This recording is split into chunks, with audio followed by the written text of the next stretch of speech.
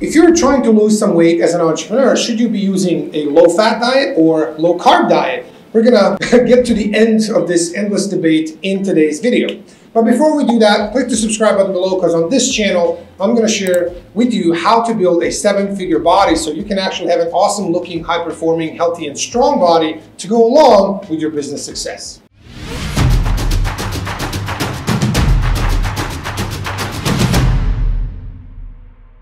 What's up everybody? This is Coach Amir from sevenfigurebody.com and in today's video, we're gonna tackle the you know, never-ending debate of you know the two big camps, which are low-fat diets or low-carb diets. As you probably know, this industry, the fitness and weight loss industry, basically goes through cycles and cycles that sometimes last a couple of years, sometimes a decade or more. But essentially, we have three big macronutrients: protein, fats, carbs. And as you know, protein is kind of you know even the dumbest of them all uh, kind of doesn't have much against protein because it's the most important one. Um, so it really, what it leaves to play with, it's basically carbs or fats. So the whole industry, marketers, copywriters, and you know everybody else, snake oil salesmen, everybody else, they have to make it basically make a stand between is fat bad and we should eat a ton of carbs, or are carbs bad and we should be eating a ton of fats. By the way, if you've been, you know, for any length of time in this industry, you know, anything for like 10, 20 years, you will notice that back in the 80s, they figured out that, you know, fats are horrible for you, they kill you, give you cancer, you know, give you heart attacks and all this. So let's load up on carbs. And by the way, we started doing that back in the 80s, and then everybody started getting even more and more and more overweight. Were like, okay, wait, wait, wait, wait, this obviously didn't work. Everybody got fatter. So, like early 2000s, we're like, hey, it seems like carbs are actually bad. They're terrible for you. Let's load up on fats. That's really when, you know, the, the keto diets and all of these basically low carb, you know, paleo, South Beach diet. Uh, all of these diets that you probably heard or maybe done or tried some of these are basically low carb diets. So the idea behind them is carbs are bad, we need to lower the carbs. Now, of course, if you look at the common pattern from it all, you'll realize that what are they really trying to do? They're trying to manipulate you to eat, consume fewer calories while telling you that calories don't matter. Okay? So carb zealots, Low carb zealots will say carbs are terrible. You don't have to think about calories at all. Just lower your carbs. Load up on fats. On the other hand, you have the you know the other camp that's like, oh no no no no no, you know carbs are bad, you know fats are good, and blah blah blah. So it's at the end of the day, it really comes down to which camp you want to be at. But what are they all doing? Whether you go on a low carb diet or a low fat diet, what's going to probably get happen? You're going to lower your total calorie intake. And therein lies the answer to what you should be doing for weight loss. You need to control your calories. Now, you already know that being on this channel, you already know, I've talked about this a hundred times, calories are king. And as long as your total calories are in check and your protein is sufficient, the ratio of your fats and carbs that you consume is completely irrelevant for your results. You're going to have the exact same identical results if you have two diets with total calories and total protein the same, but different ratios of fats and carbs. It can be all fats, all carbs, or anything in between. The weight loss results are going to be identical simply because calories are king. Okay, we get it. Now, if you ask yourself, okay, but where should I start? Well, like, where should you start from? Should you maybe cut your carbs a little? Should you uh, cut your fats a little? Well, here's the answer. Uh, remember this, we all overeat. That's why we gain weight. Okay, now when they actually do epidemiological studies, which is basically large scale studies of, you know, uh, dozens of thousands of people, and they kind of observe what these people are doing. We know that everybody has insufficient protein, so they don't eat enough protein. On the other hand, they eat too much of both fats and carbs. So the answer to whether you should have a low fat or low carb diet is neither. You actually need to probably lower a bit both of these. Lower them compared to what you're eating now. Because very likely you're overeating in both. Now, of course, that's kind of for the average person out there because that's what all the studies do. They take, let's say, 100 people or 1,000 people or 10 or whatever it is, and they draw out averages. So of course there are outliers, right? So in each end, top probably 5, 10% is, you know, outliers on a positive, outliers on a, on a negative, and like 80, 90% are average, right? Now, if you happen to be one of these, like either, you know, on any end of the extremes, you might actually be eating a ton of carbs and a very low, very low fat diet. In that case, obviously you need to monitor the carbs and vice versa. Somebody's like, eh, I don't really like them carbs. I just have my vegetables and fruit. I don't really love the carby stuff, but I do love a lot of nuts, a lot of oils, a lot of fatty fish, a lot of fatty meats. In that case, it's very likely you're going to have to obviously, you know, just control the amount of fats. Now, a couple of logistical things. Remember, more processed the food is, the easier it is to overeat simply because it's more palatable. So, for example, it's not the same whether you eat too much carbs from drinking a gallon of soda per day versus you have a little bit too much carbs because you simply love to, I don't know, let's say you love to eat rice. So you end up eating a little bit too much rice. That's kind of easy to control. On the other hand, you know, if you are drinking a gallon of soda, you have a big problem because it's like whatever it is, 2,000 calories or something of pure sugar with no nutritional value, no fiber, nothing. So, and also one other thing, uh, remember that liquid calories, especially sugar water, which is basically all soda, is just sugar and water, is not really well compensated by the brain. So what does that mean?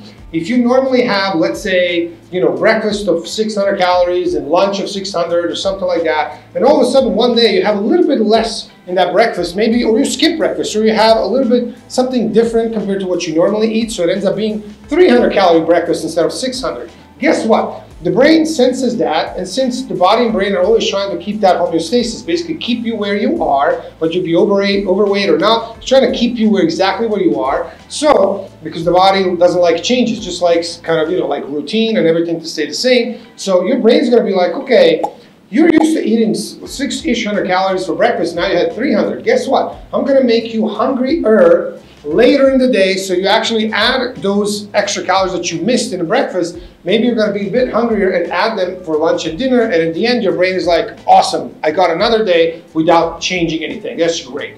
Well, this compensation mechanism does not work well at all for liquid calories, especially sugar and water, for example, soda. So you can easily have like 2,000 calories of soda throughout the day. Your brain is not going to really sense or register that that well, and it's not going to compensate by making you less hungry later in the day. This is the reason why most people who drink a lot of sodas and you know, all these drinks that have calories um, are basically it's just sugar and water uh, are very overweight because this is by far the fastest, easiest you know way to gain a lot of body fat is to just drink soda.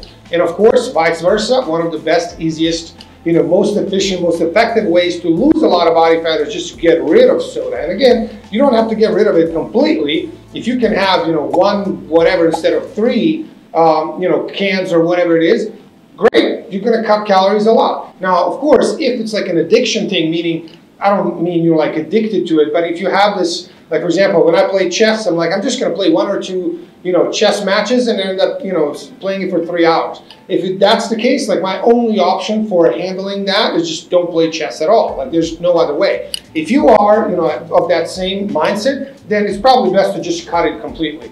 Okay, so remember that's, you know, when it comes to logistics of carb intake. On the other hand, logistics of fat intake are that Fats are very caloric. They're 9 calories per gram. So cutting fats a little bit, meaning a little bit of grams of fats off of your daily intake actually ends up being a lot of calories because it's more than double the calories of carbs. So remember, 100 grams of carbohydrates is 400 calories. 100 grams of fats is 900 calories. So it's much easier, you know, if you will, at least theoretically, to cut your calories by cutting a little bit of fats. Now, of course, it doesn't mean let's all just cut fats because another thing is low-fat diet is actually proven to be very, very negatively affecting your production of sex hormones, testosterone, estrogen, progesterone for women, testosterone for men. So low-fat diet is a terrible idea. Now, of course, what constitutes a low-fat diet? If at least 20 to 25% of your total calories are from fat, that's kind of considered low-ish, but I would definitely not go lower than that. Uh, even you know more than that, like 30-ish percent is probably uh, you know going to be better for most people simply because they're also very satiating. Uh, they're going to make you you know or or uh, you know you're going to feel full and satiated, so you're not going to be eating as much. On the other hand, carbs, unlike what most people think, are also very satiating.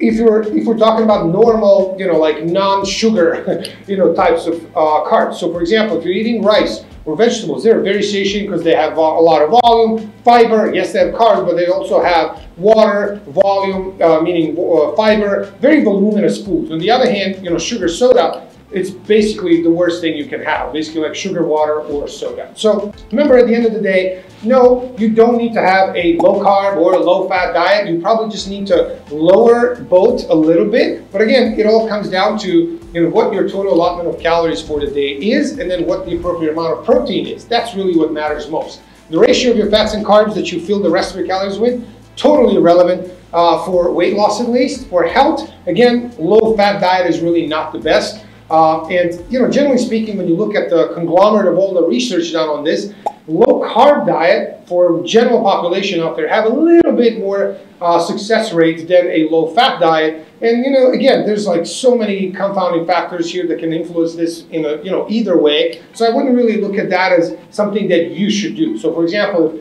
you know, 25 studies say that low carb diet is a bit better than low fat diet, but 15 studies say that low fat diet is better. That really doesn't mean anything for you. What what is the most important for you is to figure out what you actually prefer. I talked about in, in another video you know, how to come up with the best diet. You can click here to check that. What's the best diet for you? You can check that video and click on it to uh, see the like kind of more in depth of what that actually means. But it, what it comes down to is your personal preferences, what your body needs based on your current, you know, where you are with weight, body fat percentage, activity level, blah blah, and what your goals are. And of course, within that, there's your lifestyle and preferences and habits, which you actually like. I always say, you know, the best program in the world sucks if you give it to a client that cannot execute on it. So let's say, you know, you're working from, for example, 9 to 5, and I'm like, well, research says that 11 a.m. you should be working out is the best time. It doesn't matter if it's the best time to work out at 11 a.m. If you can't work out at that time, that information is useless for us.